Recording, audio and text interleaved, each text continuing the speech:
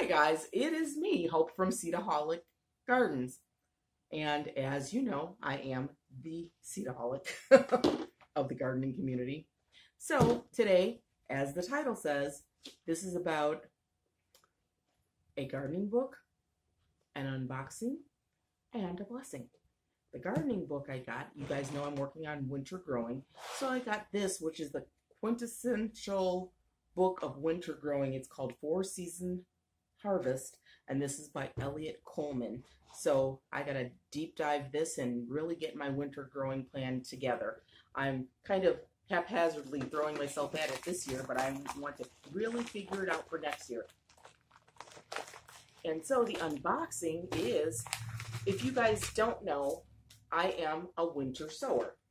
And if you don't know what winter sowing is, go check out my coach's channel. Her name is Sheryl with an S, S H E R Y L, Mann, M A N N. And her channel is The Juicing Gardener. And she teaches you to grow your seeds in cold climates in mi- milk jugs turned into mini greenhouses. And last season, I had the best um, success rate in my garden I have ever had as far as hardening off. Um, years past, I've had dampening off, I've had laggy plants, I've had hard time getting them hardened off. None of that this past season. So, and if you um, don't want to watch videos, you can go to wintersowing.org, Trudi Davidoff side, the inventor of the method, and read how to do it. But the unboxing is this. You saw me pull these out of the envelope, and guess what seed got? You got it. I got seeds, and I got them from a lady in our group, Chauly, who owns her own seed house. And I mentioned I wanted a couple things, and I did. I wanted specifically blue lake pole beans, Thai basil, holy basil, Thai or holy basil or tulsi, and she sent me those plus a bonus. And for those of you who are who are in our winter sowing group, if you look at her site um, information that Sheryl links constantly, there is a discount for members of the group. And so the, she sent me a bonus, and one of the things she sent me was this Malabar spinach. And this is awesome because this grows in the heat of summer when all other greens have bolted and it's a vine. And look how many seeds there are, guys. Oh my gosh. So excited.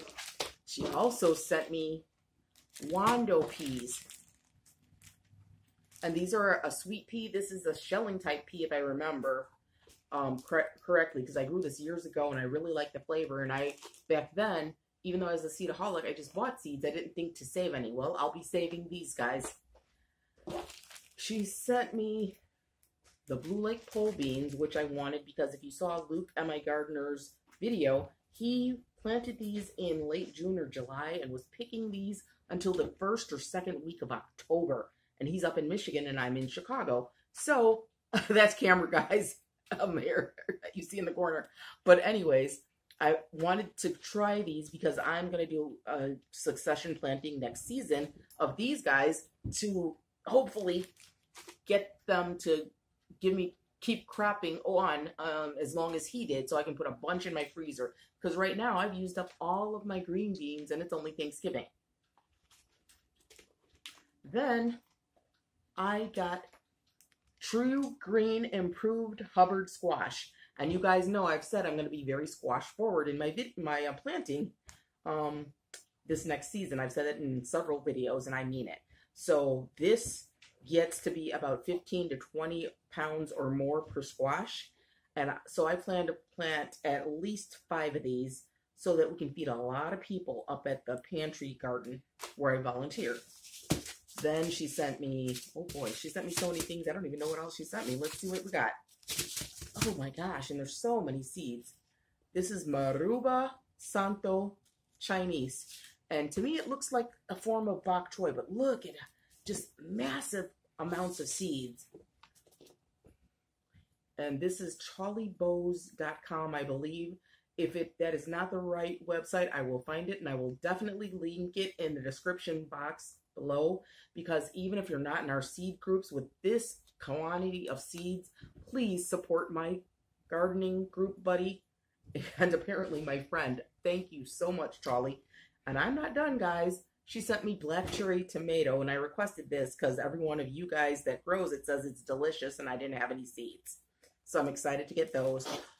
This is another one I planned to order, but my money was a little funny this time, so I let her know that, and she really took good care of me. This is um Florence fennel herb. I mean, I paid for um what I requested, but she just blessed me with so many extras. I don't even know how to say thank you.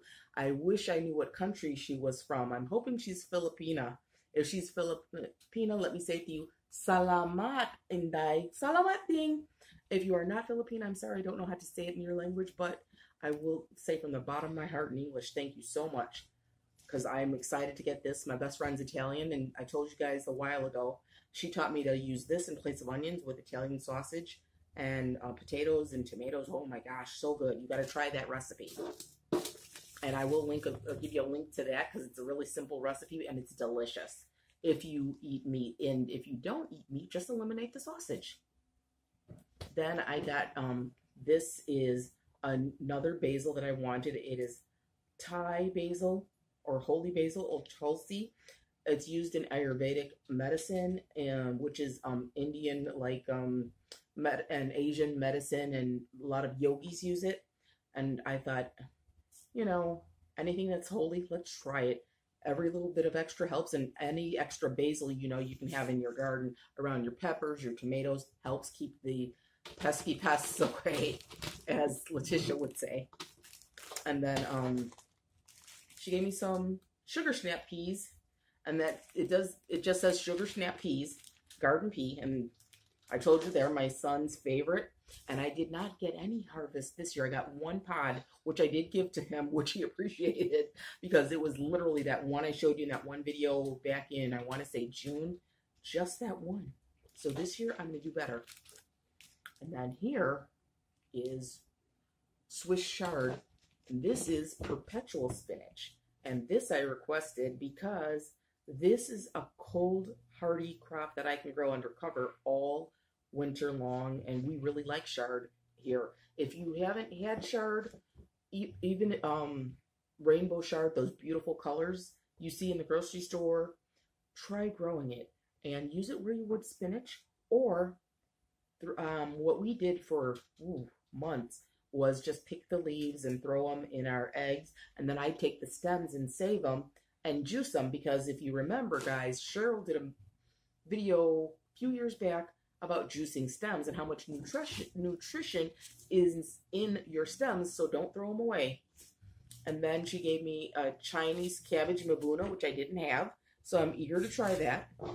And then she gave me, oh boy, red pear tomato. And you guys have heard me talk about yellow pear, and now I have its sister. So you'll be seeing me grow these because I like them so much. They are prolific, prolific, prolific. I'm only going to do two plants here, two plants at community garden, and two plants at the food pantry garden because you know how I feel about picking little tomatoes. And like I said before, it's a commitment. And these pear tomatoes will wear you out. I promise you. So if you don't like to pick and harvest, don't take my advice. Don't plant more than one. And then she gave me Italian large leaf basil, which can never have enough with as many tomatoes as we plant. And finally, she gave me Chicago Warted Hubbard, which I'm very excited about because this is my main my city.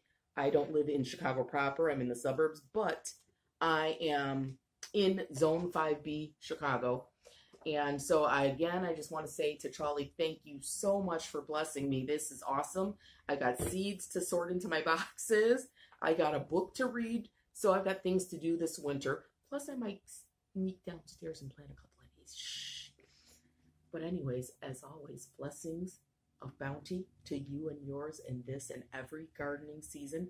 I hope you all had a happy Thanksgiving and may your gardens always bring you joy. See you guys next time.